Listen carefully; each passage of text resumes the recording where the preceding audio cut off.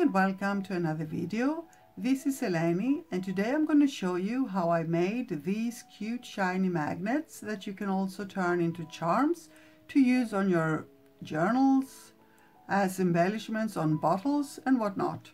And the inspiration for this came from a video by Happy Birds Glitter Nest where she made pendant necklaces and I will link you that in the description box below. So for this I'm using some circle die cuts that was already perforated on these thin craft papers that I got by mistake. So I will glue down 10 of them together to get the thickness that I want.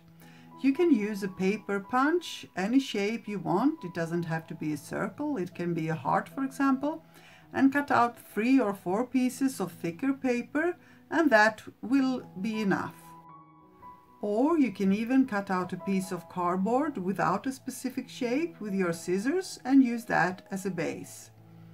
Basically what you need is a stand, a base for the butterfly that will be the focal point and you need it to be sturdy enough to hold the magnet on the back. Now I have these wooden butterfly buttons that I will use and you can find them on Amazon, eBay or Etsy if you just put butterfly buttons on the search bar. But if you have a butterfly punch, I'm sure that you can also use that to cut out the butterflies out of colored craft paper and make two holes for the antennae. And that is exactly what you will see me do here. I'm using a piece of wire that I put through the holes. I twist it on the back side to keep it in place and then I curl the two edges. Any thickness of wire is good for this, just as long as it is able to fit through the holes of the button. Later on I will also use this rhinestone chain, but you can also cut one row of this rhinestone mesh that is easier to find and use that instead. They look pretty similar. Now I take out all the glitters that I have, like powders, flake, sequins and whatnot.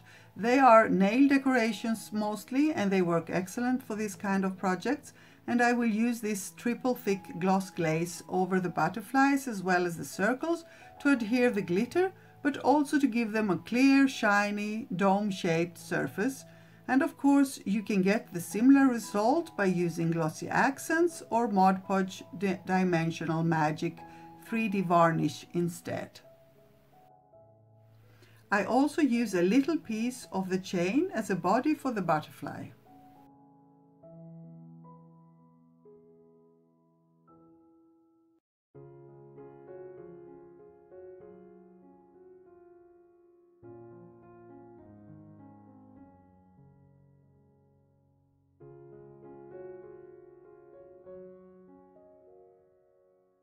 I'm trying to match the colors and I will realize that it works better if there were colored paper on the circles.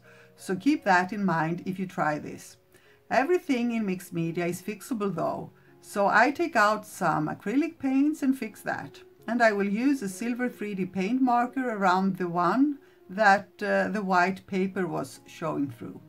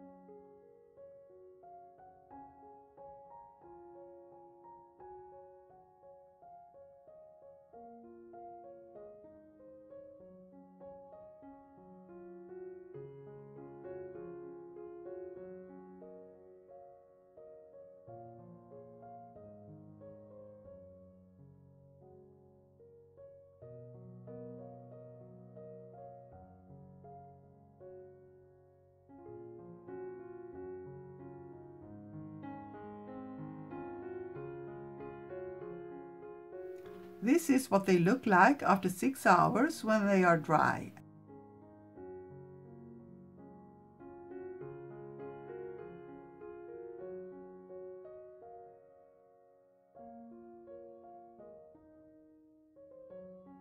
and I will go over them with a second coat of the glaze just to seal everything in and you can see how they look right now. This milky look will turn into a glossy one when they will dry as you will see in a second.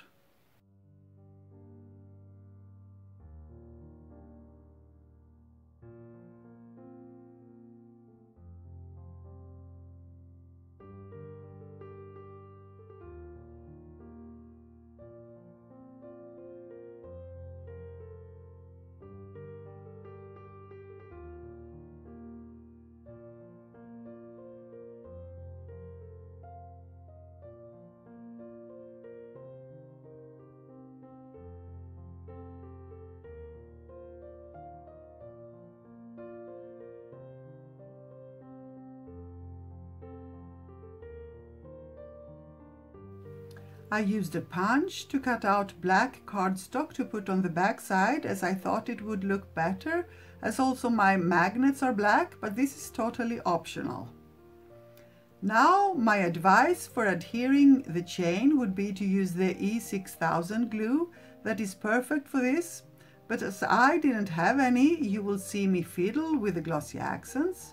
That didn't work so eventually I used my glue gun. Now this works, but it is a little more bulky than it should be.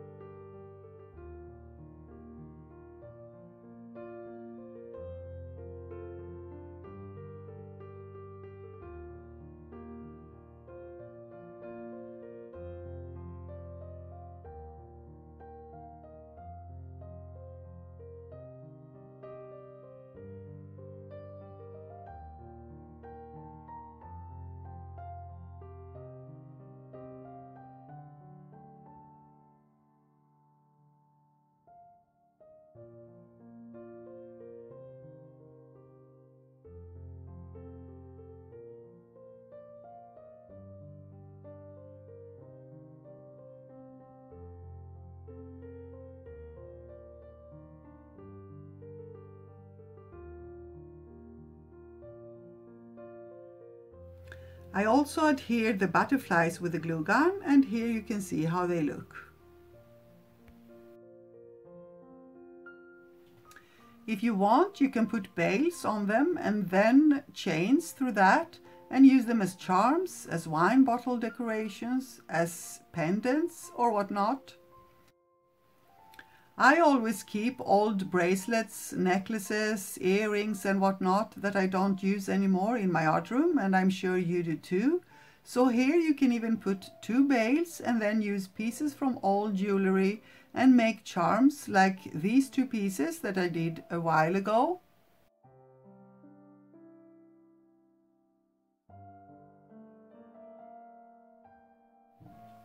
Now I'm adhering the magnets on the rest of them and I even made a ring with the leftover butterfly and a ring base that I had.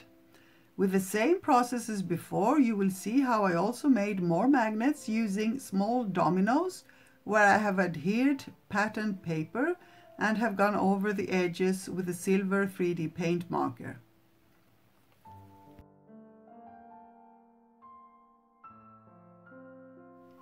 Hope you liked my project and got inspired to create something similar. I know this was so much fun for me and I love the outcome.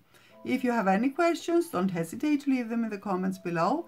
And if you enjoyed this video, please give it a thumbs up, leave a comment under it, but also make sure to subscribe to my channel and click the bell to get notified about my new videos. Thank you so much for being here. Stay safe and see you soon. Love and kisses.